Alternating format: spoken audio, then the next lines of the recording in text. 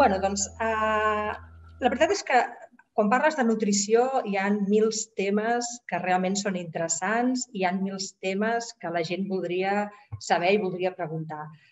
Però jo, la veritat és que darrerament sí que és veritat que els mitjans de comunicació, internet, tot allò que vas a vegades remenant i rebuscant no, en temes de nutrició, eh, la paraula antioxidants sempre surt. No? És a dir, menja això perquè és ric en antioxidants, fes una dieta més rica en antioxidants i al final sempre he pensat bueno, clar, tot això està molt bé, però realment la gent sap ben bé què són els antioxidants, per què serveixen. La, la gent és conscient que potser fent una dieta saludable doncs, eh, en tindríem més que prou.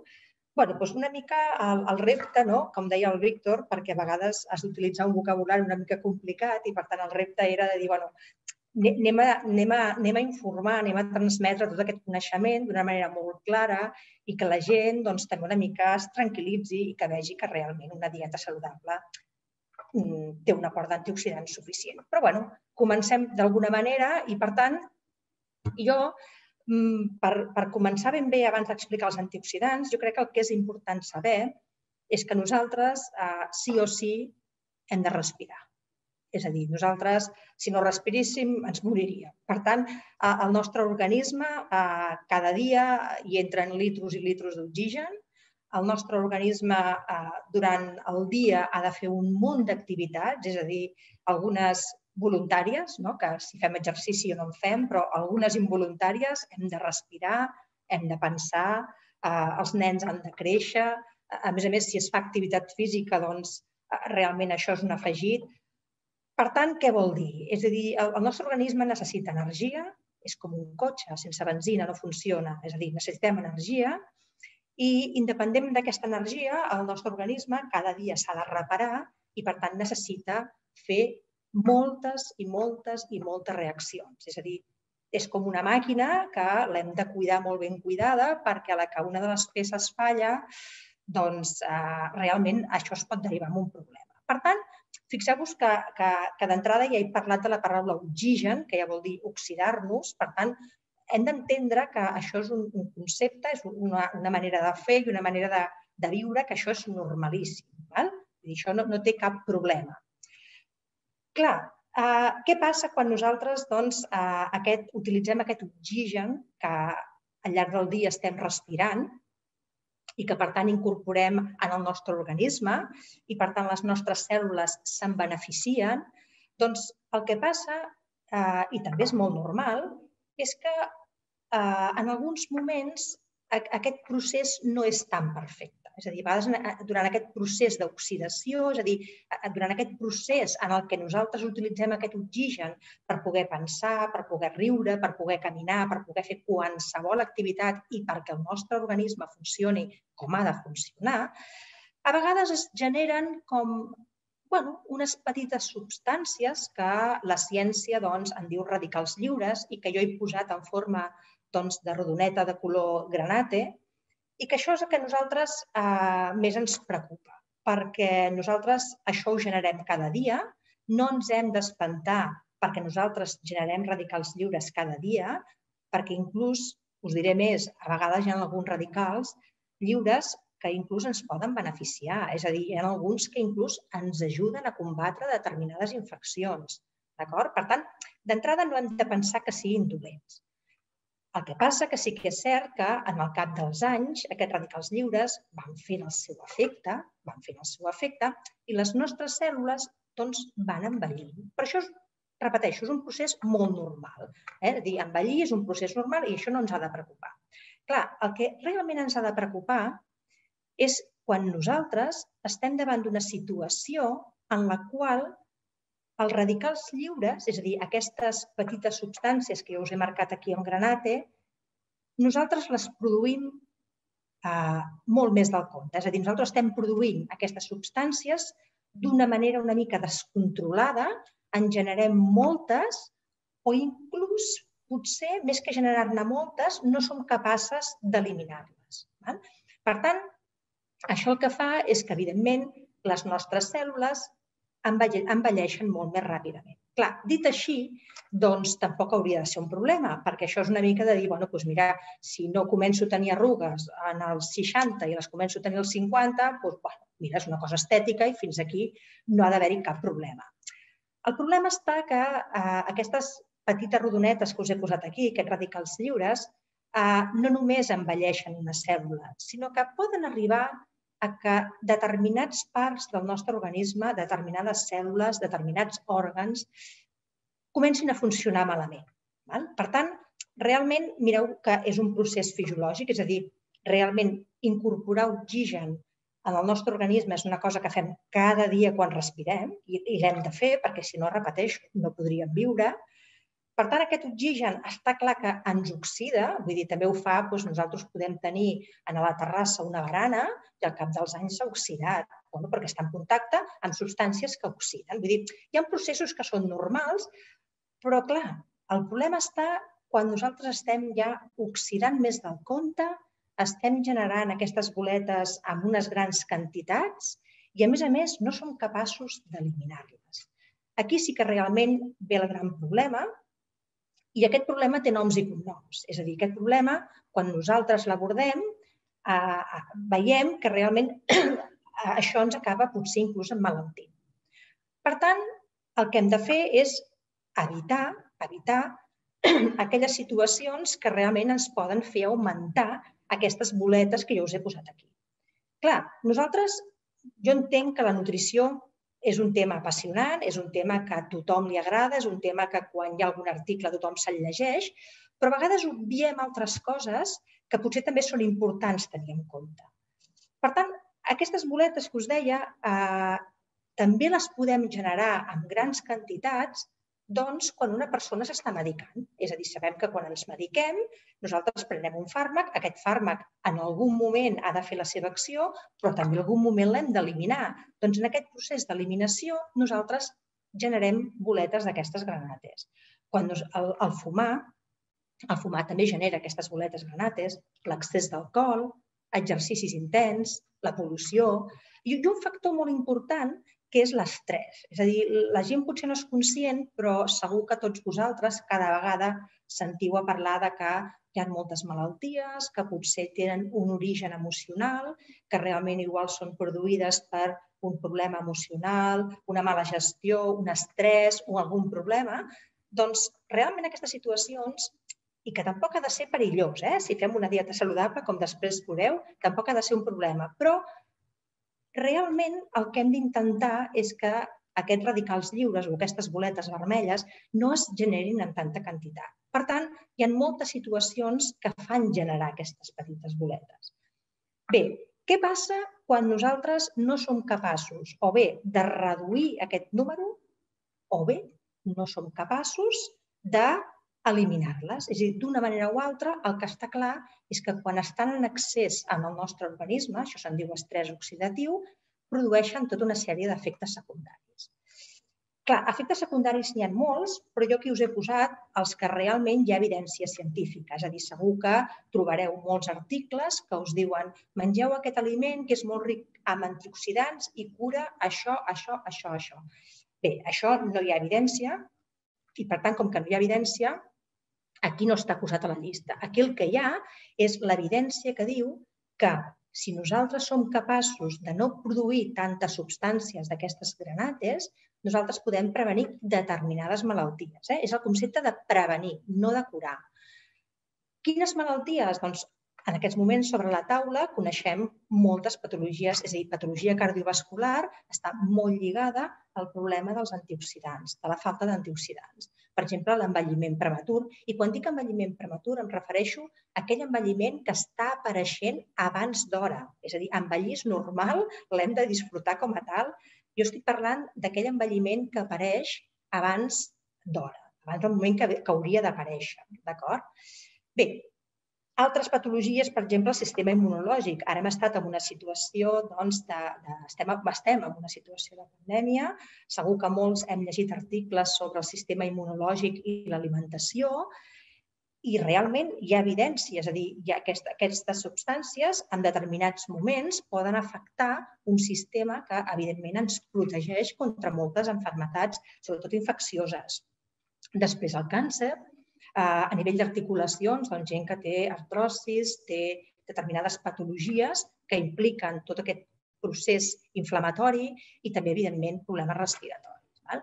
Eh, podríem començar a parlar de que si la psoriasis i que si la pell, i no pararia, però jo amb això sóc molt rigorosa i l'únic que us he posat aquí són allò que realment tenim evidència i que, per tant, darrere hi ha estudis que estan posant de manifest que prevenir aquest envelliment, és a dir, eh, consum d'antioxidants, ens pot prevenir aquestes malalties. Prevenir pot ser un factor per prevenir la malaltia. Bé, dit això, jo crec que aquí el més important ja no és tot el que us he explicat, que, bueno, que té la seva importància, no? sinó que eh, jo us digui una mica, no la solució al problema, però sí què és allò que vosaltres podeu fer per poder eliminar aquestes boletes vermelles que estan en tantes quantitats. Val? És a dir, en poca quantitat no passa res, però quan estan en moltes quantitats, això pot ser un problema. Doncs bé, què és el que podem fer? Doncs aquí sí que ve el terme antioxidants. El que podem fer és que al llarg del dia la nostra dieta, d'una manera o altra, vagi aportant unes substàncies que són capaces, i que s'ha demostrat, que són capaces d'anar eliminant aquests radicals lliures. De mica en mica va neutralitzant aquests radicals lliures.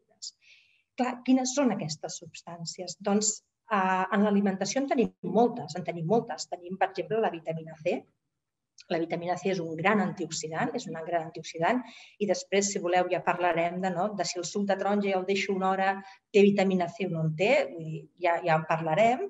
Després hi ha els betacarotens. Els betacarotens són eh, aquests pigments no? que, que ens donen aquest color groc, carbassa, vermell. Eh?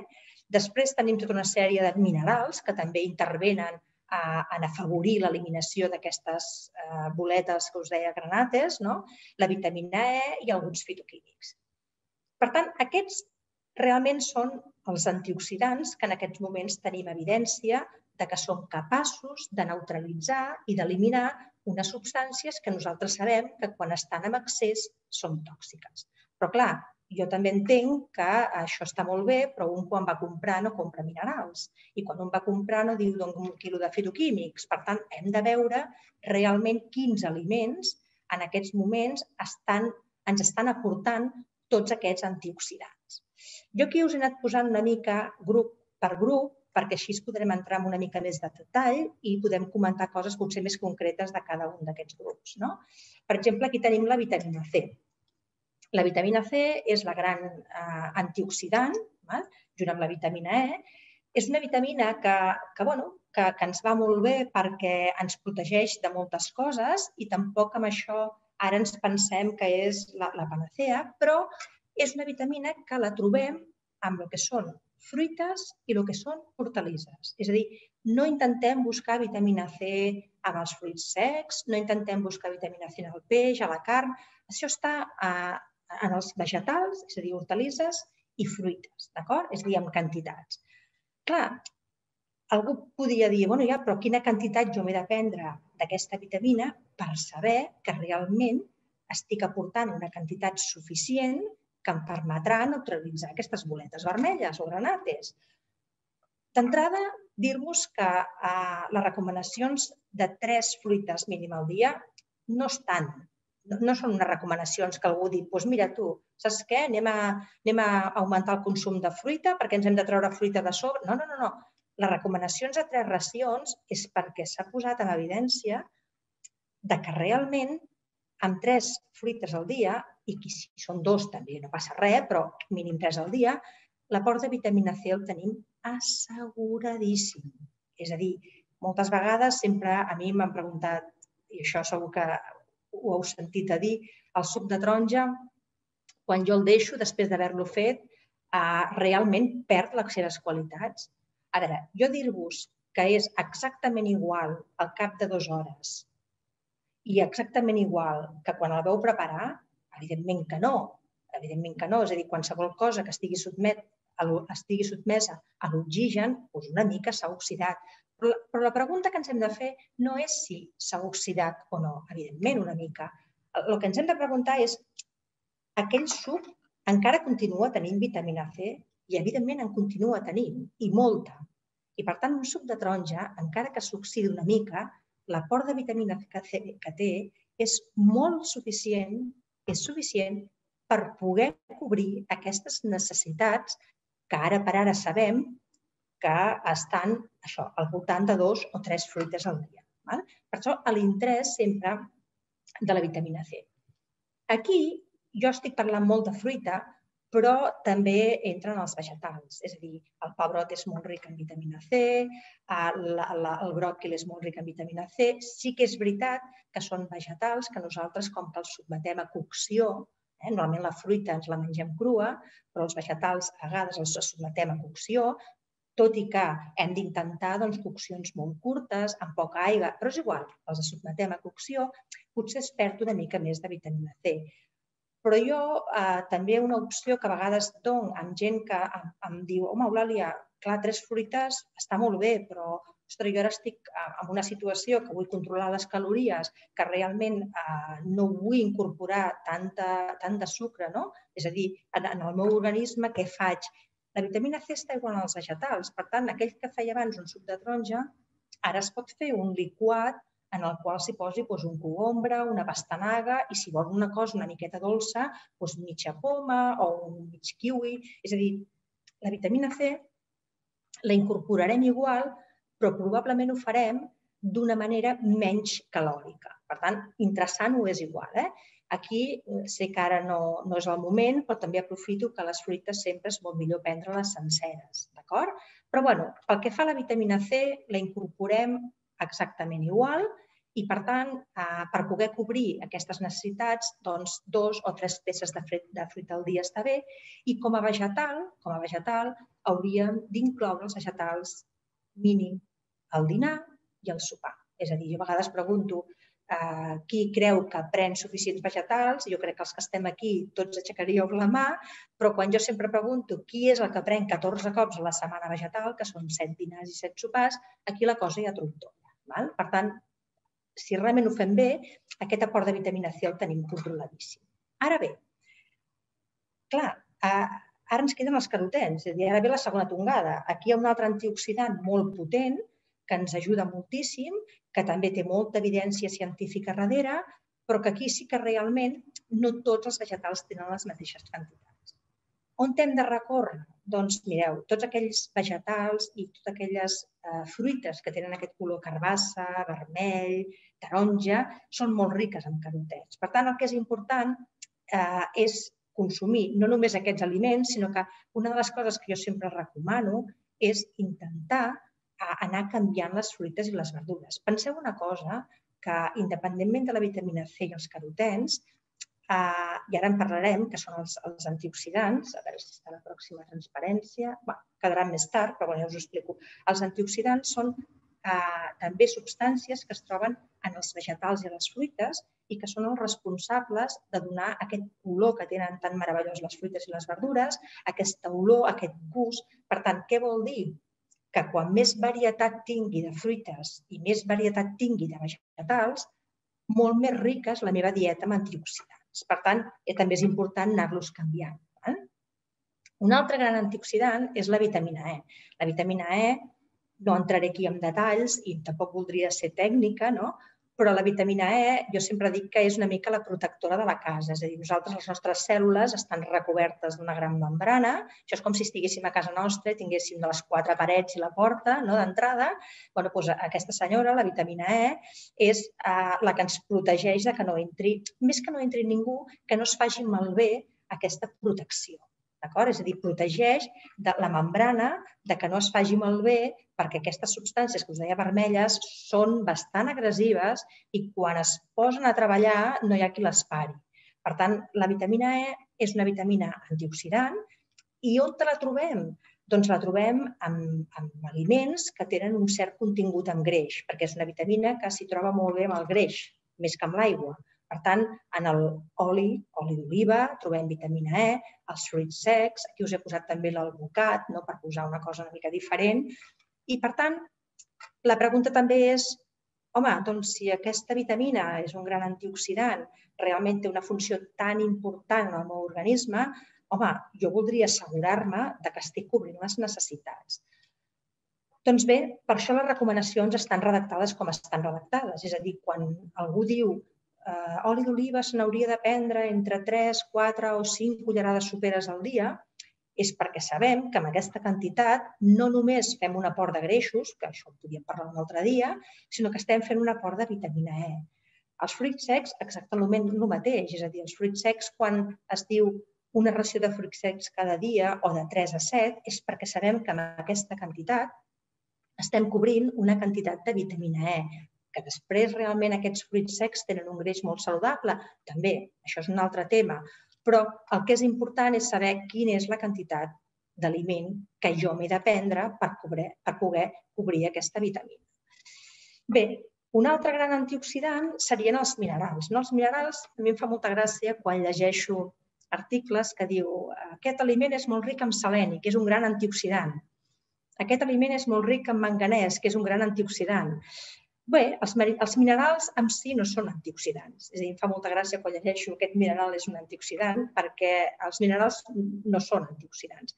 Els minerals són eh, aquells elements que ens ajuden a que d'altres treballin i eliminin aquests radicals lliures. Per tant, tenen un valor afegit, però també és veritat que sense ells no podrien fer la feina. Per tant, no són els protagonistes, però sense ells tampoc es podria treballar. Per tant, d'aquí l'interès de, de parlar d'aquests minerals.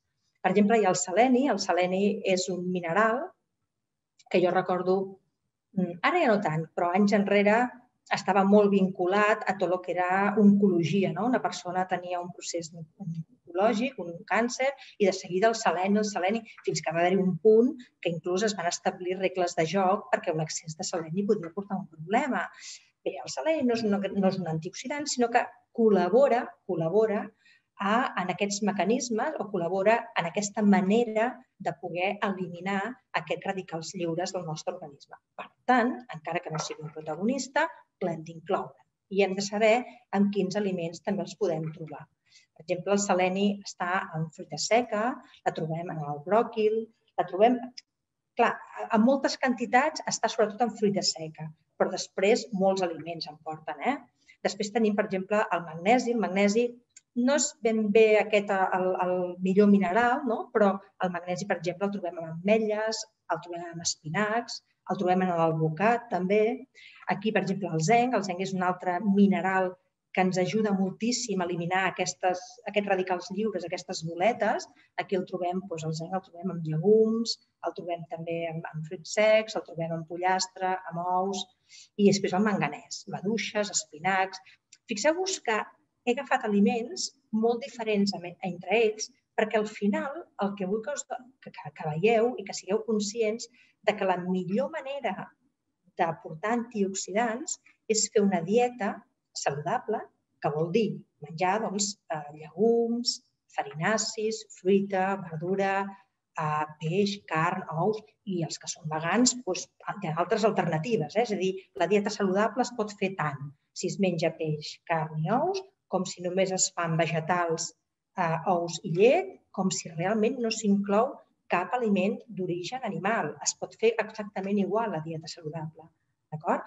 Per tant, el que sí que és important és que sigui molt variada, perquè penseu que quan més variada sigui aquesta dieta, eh, més rica amb antioxidants serà. I això és el que realment és la clau del problema. Antioxidants que realment ens eliminin aquestes substàncies que estem generant, que a vegades en generem més del compte. Doncs bé, ja una mica els, els, no, no és que siguin els protagonistes, perquè els fitoquímics són aquelles substàncies que són capaces de donar color, són capaces de donar olor i són capaces de donar un gust en els vegetals i a les fruites. Uh, fitoquímics en tenim moltíssims, moltíssims. Per exemple, hi ha el cantè, com us dèiem, les pastanagues, hi ha el licopè en el tomàquet, hi ha les antocianines, per exemple, en l'esvergínia, en el raïm negre, en tenim moltes. I aquí sí que realment, eh, tot i que a vegades sembla que hi hagi molts, molts, molts estudis, però al final els estudis bons conclouen que eh, sí que hi ha alguns antioxidants que tenen una certa prevenció, prevenció, no hi ha res que curi, prevenció, amb algunes malalties. I, per tant, el que he fet jo és, eh, en aquesta cerca, doncs, intentar posar aquelles que, bueno, que si algun dia, escolta, doncs envia'm l'article, el tinguem i que realment hi hagi una, una evidència darrere. Per exemple, aquests colors vermells, no? el licopè del tomàquet, s'ha vist que redueix determinats tipus de càncer o pot ser un factor protector, sobretot, D'acord? Per exemple, els carotens, que donen aquest color carbassa tan bonic, doncs també s'ha vist que protegeixen determinades eh, patologies degeneratives oculars i també de la pell. Després aquí també aquests petits carotens, eh, com el raïm, bla, el raïm, el plàtano, n'hi ha molts més. Eh? També s'ha vist que tenen algun efecte doncs, com antioxidants, antibacterià, també tenim aquí els de color verd, que tenen molta clorofila. Aquests fitoquímics també s'ha vist alguna activitat, precisament el bròcoli. El bròcoli té un principi actiu, té una substància sulfurada que quan nosaltres la tallem, la, la posem en un procés de cocció, es genera doncs, un principi actiu que en aquests moments eh, hi ha molts estudis que evidencien que té propietats antiinflamatòries. Bueno, doncs, també és interessant aquest vegetal i bueno, aquests de color granate, no? que també potser aquests són més coneguts.